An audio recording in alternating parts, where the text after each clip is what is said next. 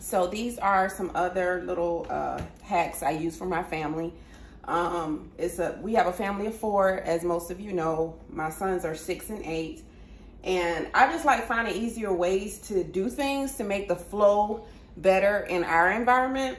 So we all like brisk, all four of us. So instead of putting all of these in the fridge, I break it in half.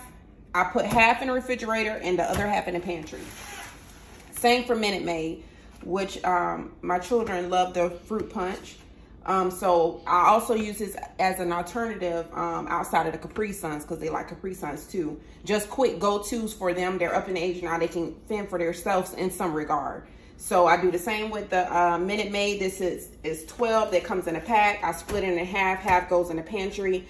The other half um, goes in the refrigerator. Waffles for breakfast. Um, they do waffles sometime. One of my sons like the blueberry waffle. The other one likes the original um, Eggo waffle. Both of these are the Eggo brand. And um, I don't know how many, six six waffles comes in the um, in the, the box. We used to just throw the box in the freezer, but we stopped doing that. We open the box, put them in a Ziploc bag. For both of them, they're up in age now to where they can go and put their own waffle in the toaster. Um, we trust them enough to do that and they can toast their own waffles. Just something to share with you all today.